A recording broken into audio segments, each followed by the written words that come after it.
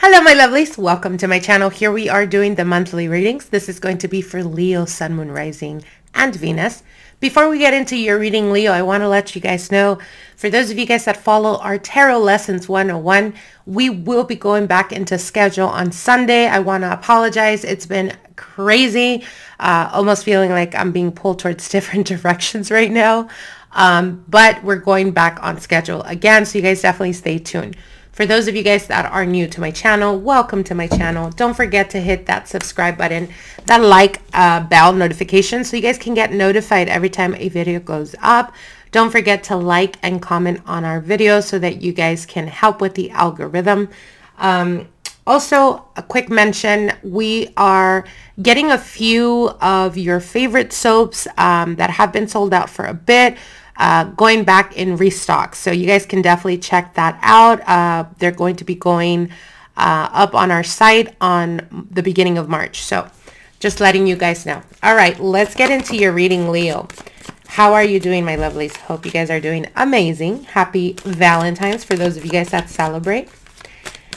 For those of you guys that are single, celebrate it as well. Nothing wrong with treating yourself, getting yourself a nice bottle of wine, relaxing, watching a good movie, um, treating yourself. You know what I mean? Like you don't need, you don't need anyone to do that for you, to make you feel special. You can do that for yourself.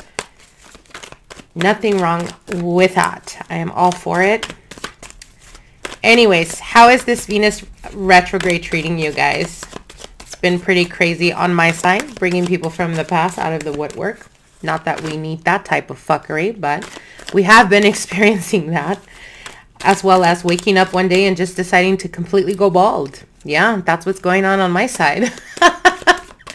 it is on my sign of Capricorn. So, major transformations there. Anyways, Let's get into your reading, Leo. Let's see what's going on with you guys. Spirit guides, ancestors, and archangels. What are the messages for Leo, Sun, Moon, Rising, and Venus for the month of February 2022? Oh, we got cards flying out. Okay, one more shuffle. Leo, Sun, Moon, Rising, and Venus. Okay, so we're starting off here with the Four of Pentacles, Leo. I see you guys being a little bit being a little bit private. I see you guys um, taking inventory, um, thinking about the future, thinking about what it is that you want to make happen, what it is that you're wanting to manifest or to bring into your life. For some of you guys, a little bit guarded when we're talking about love and romance. The next card here is the Page of Swords. So I do see you guys having a reason to be private. I feel like a lot of people are watching you right now, Leo. Uh, this could be on social media. This could be people asking about you, people from the past. Don't be surprised if people start coming, you know, like I said, coming out of the woodwork. Um, but I do feel like there is a specific individual that is from the past, could be air sign, uh, Aquarius, Libra, Gemini type of energy. Doesn't have to be their sun sign. Um, I feel them trying to look into what's going on in your life, primarily more to do with your personal or private life, meaning love life. All right, so we have the Six of Swords here. Your next card here is the Five of Swords, Eight of Swords, Knight of Swords. Damn, a lot of a lot of energy here. Air energy. And the Wheel of the Year. Beautiful energy. Okay. I see you guys contemplating. I see you guys very much in your um, in your head right now. I feel like you guys have kind of disconnected from your emotions. Um, it's almost like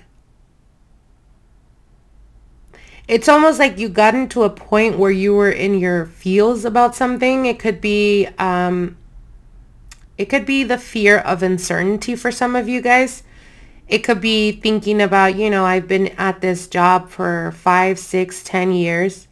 There hasn't been major change or much progress. I would have thought that by now I would be at this position or I would be at this part in my life. For some of you guys, I would have thought that I would be married by now. For others of you, I would have thought that I would have children by now. Um, there's a lot of like self-talk that's going on right now. And I feel that it has a lot to do with, um, it has a lot to do not only with Venus retrograde, but I feel that there is like, there is a feeling of complacency that you're trying to break through or away from that. Um, there's been like not major momentum going on in your life in the past couple of weeks. And this is like creating a lot of frustration, a lot of feeling of being stuck. Uh, for some of you guys, this could be even like very low energy, not really wanting to mingle, not really wanting to put yourself out there. And it has you like thinking, it has you over analyzing, it has you very much in your head. Um, but they are showing me here the Knight of Swords with the Moon card. So I do feel that you guys are being um, intuitively pushed towards the direction that you should be or you should be walking towards. Um, the Knight of Swords could indicate communication, but this can also indicate uh, having random thoughts or random ideas that pop in your head out of nowhere. As an example, um, I'm trying to start my own business, but don't really know what my niche would be. And then all of a sudden, two, three days later, something, an idea or something pops in your head that is specifically to do with the niche or specifically to do with, you know, something that you're passionate about that you didn't really think about. What they're telling you is listen to your intuition, Leo. It's going to be crucial for this month. And I feel that March as well. Your intuition, listening to your intuition is what's going to guide you. It's almost like, because I see a lot of swords, it indicates to me feeling like, like being very much in your head about what's going to happen in the future but you feel like you're not really making major stride, major movements.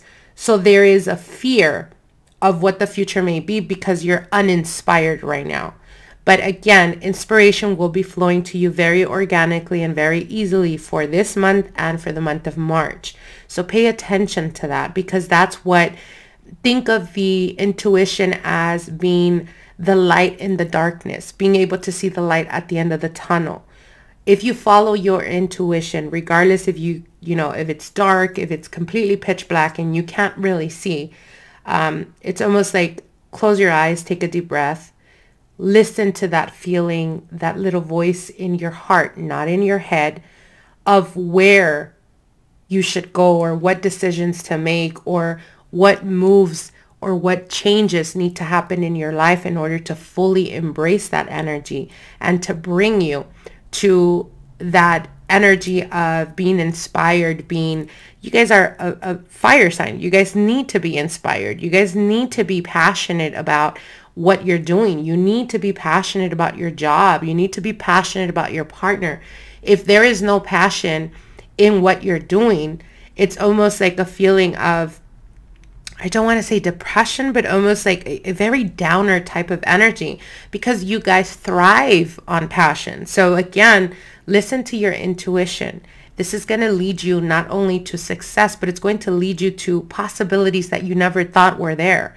With the wheel of the year, the wheel is turning, but it also indicates being guided towards listening to your intuition to be able to strike luck, to be able to strike an idea that is going to turn into major financial growth for some of you guys.